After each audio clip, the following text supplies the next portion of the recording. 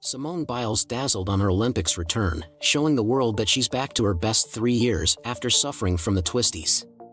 The American gymnast, with 37 world and Olympic medals, had pulled out of several events at the Tokyo Games due to the disorientating mental block, leading many to wonder if she would ever compete again.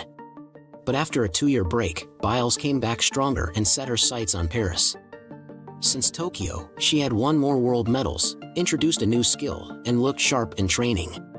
Yet, the true test was her performance at the Bercy Arena, where she was met with cheers from an enthusiastic crowd and a global television audience.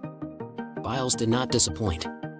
She started with an acrobatic beam routine, followed by an energetic floor program that featured one of the five skills named after her.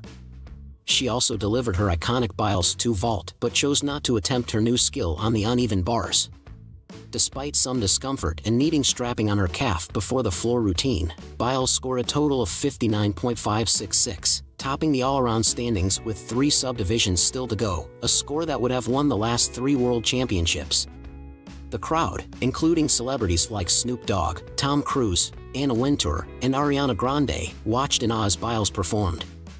Starting her day on the beam, Biles showed confidence and skill, nailing a triple spin and a complex twisting dismount to score 14.733. Her floor routine, packed with high-value skills, scored 14.600 despite a minor step out of the floor area. She continued to impress on the vault with a Biles 2, earning a massive 15.800. Though she opted for a safer routine on the uneven bars, scoring 14.433, Biles is expected to have more opportunities to showcase her new skill in the team and all-around finals.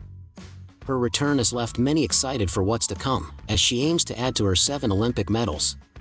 Commentators and fellow gymnasts were in awe. Matt Baker called her the ultimate athlete at these Olympic Games, and retired gymnast Louis Smith praised her for performing under immense pressure, likening her to the Usain Bolt of gymnastics.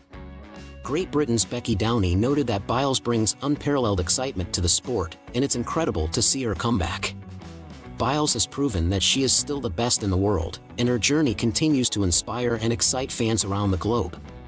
With her incredible skills and determination, Simone Biles is back where she belongs, on top of the gymnastics world.